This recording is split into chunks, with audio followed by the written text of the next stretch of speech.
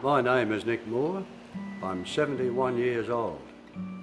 In the 70s, I became an official of the Building Workers Industrial Union, and in 1977, I suffered what was then known as a nervous breakdown. Today, that would be regarded as a mental illness.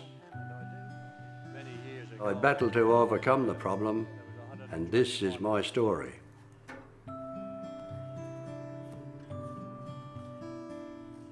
I was an organiser with the old Building Workers Industrial Union. The environment was much different to what it is today. In those days, the employer clearly had the upper hand, and it was very difficult to ensure that reasonable conditions prevailed on building sites in Melbourne. There was ongoing conflict in regards to safety. Every issue in those days had to be argued out on the site you were in this situation where it was necessary to take an aggressive role, even though I always considered myself not a very aggressive person at all. The outward image was a person uh, that appeared to be quite overconfident at times in order to ensure that those people I was dealing with didn't detect any weakness in my performance whatsoever. But underneath all that, I was fearful that I wouldn't be able to succeed in carrying out my duties. A little stress is a good thing uh, because it'll raise the adrenaline and it may even improve your performance. But too much stress will get, it will eat away at you and you will then seek some uh, way of overcoming that, that the strain. In those days, your reward for doing a sterling job all day was to uh, head immediately to the pub. I had uh, noticed that the level of my consumption of alcohol had increased, and I wasn't enjoying it like I used to. But uh, after X number of pots, I felt a little bit better, and the things that were causing me concern disappeared into the distance. But when I woke up the next morning, the problem was still there. I was spending inordinate amount of time at work and in the pub. And it didn't dawn on me that I was actually neglecting my family. Nobody would have been aware that I was suffering from what is, I suppose, a disease, because part of the whole thing is to cover everything up, to make very sure that nobody suspects that you are thinking you're a failure, and therein lies a big and major part of this problem. On the day that I had what was then called a nervous breakdown. I visited a site at the bottom of Collins Street.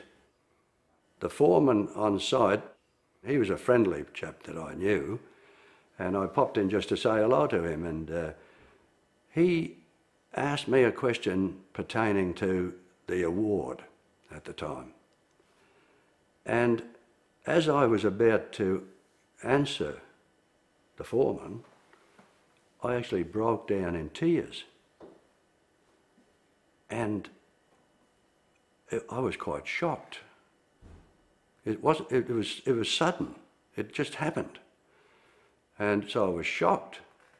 Why was I standing in front of this man crying? And then, of course, I was totally embarrassed. You know, I, a big, strong, tough building worker, uh, breaking down in tears.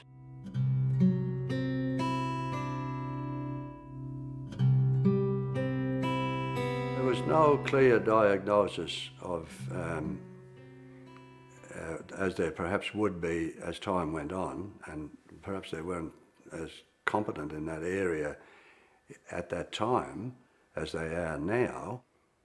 I'd have to say that uh, that the, the, the circumstances that I went through in those in those days lead me to think that I was suffering from depression.